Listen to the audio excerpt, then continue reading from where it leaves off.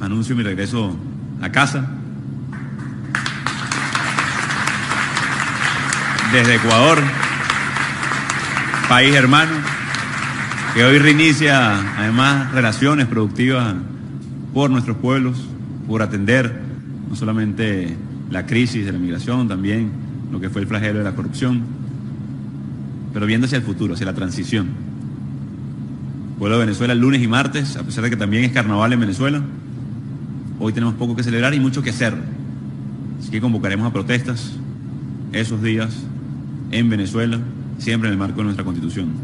Los empleados públicos venezolanos que hoy mantienen, nos mantienen casi secuestrados y esa burocracia que no puede seguir cooperando con un régimen torturador, también tenemos un llamado ese lunes y martes que deben estar muy atentos desde Venezuela. Y aprovecho aquí este espacio eh, en Ecuador para convocarlo de inmediato.